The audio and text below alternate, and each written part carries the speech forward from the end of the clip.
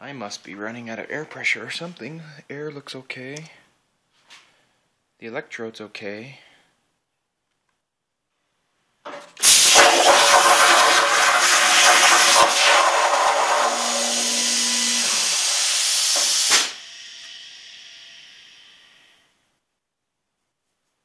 Must be my air supply.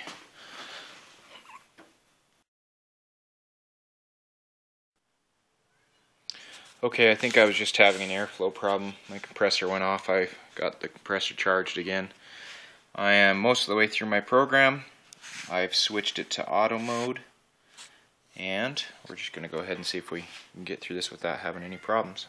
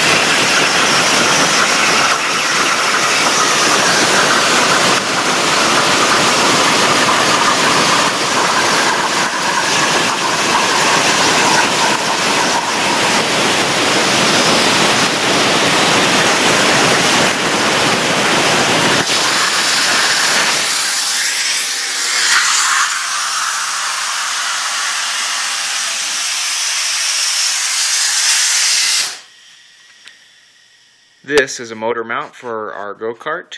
Um, the only odd thing I had to do was just this little jog right here for the torque converter.